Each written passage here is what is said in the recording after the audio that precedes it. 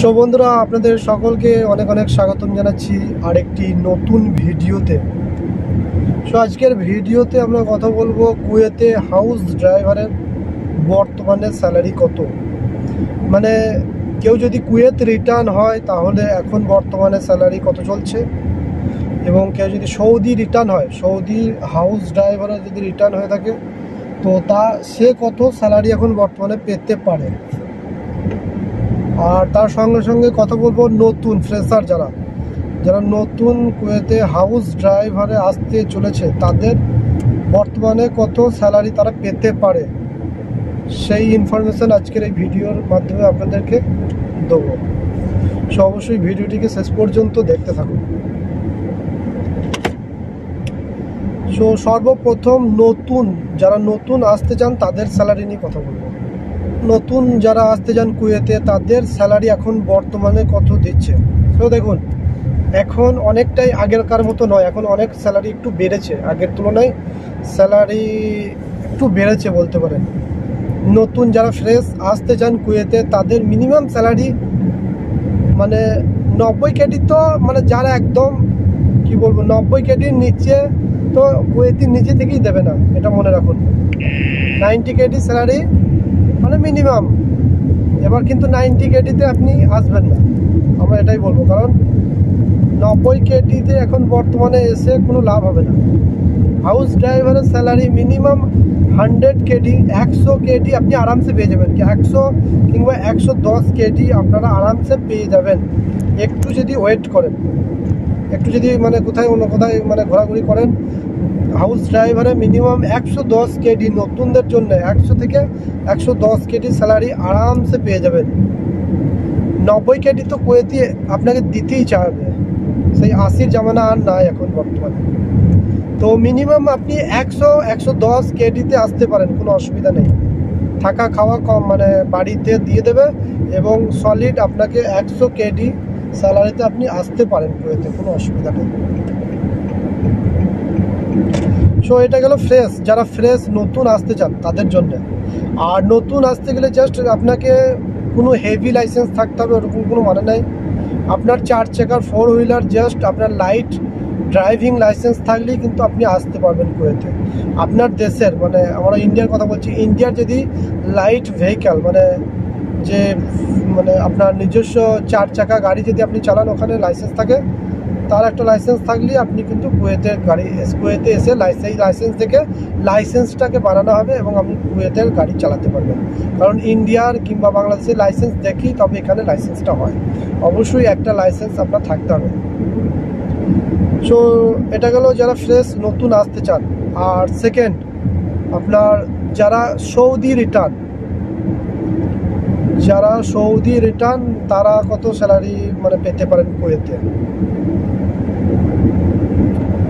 So যারা Saudi return তারা আপনার স্যালারি মিনিমাম এখানে একশো কুড়ি কেডি মিনিমাম মানে সর্বনিম্ন বলছি, এর উপরে যেতে পারে। একশো কুড়ি কেটির নিচে মানে আসলে কিন্তু আপনার ঠকা বলতে পারেন। একশো কুড়ি কেটি আপনাকে তো নিতেই হবে। তো একশো কুড়ি কেডি মিনিমাম আপনি স্যালারি ধরে রাখুন। একশো কুড়ি কেডির ওপরে আপনি যত পাবেন, তত আপনার লাভ। আর একশো কুড়ি কেডির ওপরে দিয়ে থাকে, যারা সৌদি রিটার্ন একশো তিরিশ, একশো চল্লিশ, একশো পঞ্চাশও পর্যন্ত দিয়ে থাকে। কিছু কিছু ভালো জায়গায় যদি আপনি পান, সৌদি রিটার্ন ড্রাইভারকে একশো পঞ্চাশও দিয়ে থাকে। আর যারা কুয়েত রিটার্ন আবার মানে নতুন ভিসায় কুয়েতে আসতে চান মানে অলরেডি কুয়েতে আপনার গাড়ি চালানোর এক্সপিরিয়েন্স রয়েছে, আপনি কুয়েতের ভাষা সব কিছু জানেন। তাহলে সেক্ষেত্রে আপনি স্যালারি একটু সৌদি রিটার্নের থেকেও স্যালারি একটু বেশিই পাবেন।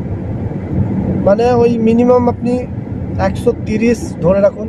একশো তিরিশ থেকে আপনার স্টার্ট হয়ে যাবে আপনার স্যালারি একশো তিরিশ কেডি আপনি পেয়ে যাবেন, তার ওপরে আপনি যান এই ধরেন মিনিমাম একশো তিরিশ থেকে ম্যাক্সিমাম একশো সত্তর কেডি স্যালারি আপনি পেতে পারবেন। একশো সত্তর কেডি পর্যন্ত আপনাকে স্যালারি দেবে। মানে আপনি যদি কুয়েত রিটার্ন হন। তো হাউস ড্রাইভারের স্যালারি এইভাবেই এখন বর্তমানে চলছে।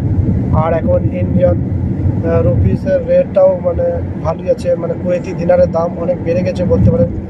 দুশো উনষাট, দুশো দুশো উনষাট রুপিস চলছে।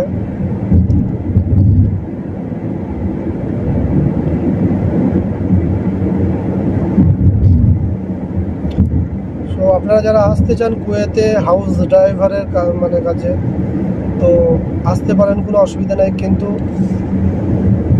অবশ্যই স্যালারি আগে কথা কাজ করার আগে আপনি স্যালারির কথা বলে নেবেন।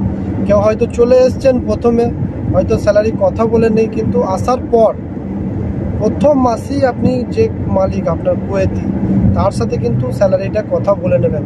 না হলে কিন্তু আপনি পরে বলতে পারবেন না যে, আমার এত স্যালারি এত স্যালারি আর প্রথম মাসেই আপনার বাড়ানোর চান্সটা বেশি থাকে।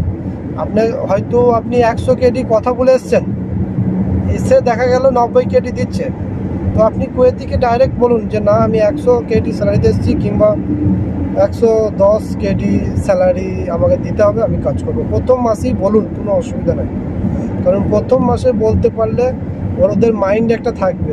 কুয়েতির মাইন্ডে থাকবে যে, না, এ বেশি স্যালারি মানে ওখান থেকে কথা বলে এসছে এখানে হয়তো এজেন্ট ঠকিয়েছে, ওকে কম স্যালারি করেছে।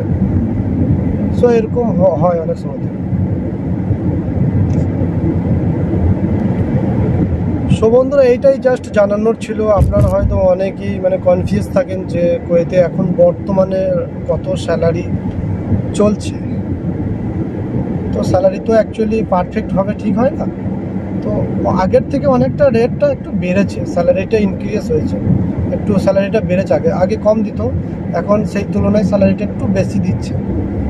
সেটা সম্পূর্ণ ডিপেন্ড করবে আপনার উপর, কারণ আপনি কীভাবে কথা বলে আসছেন, আপনি কার মানে কোন এলাকায় আসছেন, এলাকার উপরেও অনেকটা ডিপেন্ড করে, কারণ কুয়েত যদি সিটি এলাকা হয়, তাহলে স্যালারিটা একটু বেশি পাবেন। কুয়েত সিটির মধ্যে যদি পান, আর যদি আপনি কুয়েতের মধ্যে যদি জাহারা এলাকায় পান, তাহলে সব থেকে নিম্ন স্যালারি ওখানেই আছে।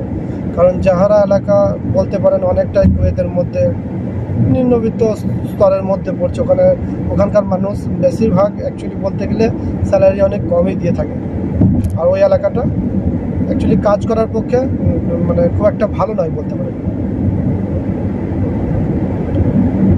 দেখুন, আপনারা যদি আসতে চান, এখন কুয়েতে একটু স্যালারি আগের থেকে ইনক্রিজ হয়েছে। তো যখনই আসবেন, কথা বলে নেবেন। তো আমি চলে এসেছি আমার এলাকায়। এবার ভিডিওটিকে এখানেই শেষ করব? যদি ইনফরমেশনটা ভালো লেগে থাকে, তাহলে অবশ্যই ভিডিওটি সবার সাথে শেয়ার করে দেবেন। আর ভিডিওতে একটা লাইক দিয়ে যাবেন। আর আপনাদের যদি কোনো প্রশ্ন থাকে, নিচে কমেন্ট করবেন, আমি তার অ্যান্সার দেওয়ার চেষ্টা করব। সো বন্ধুরা, সবাই ভালো থাকবেন, সুস্থ থাকবেন। ভিডিওটিকে শেষ পর্যন্ত দেখার জন্য আপনাদের সকলকে অসংখ্য ধন্যবাদ।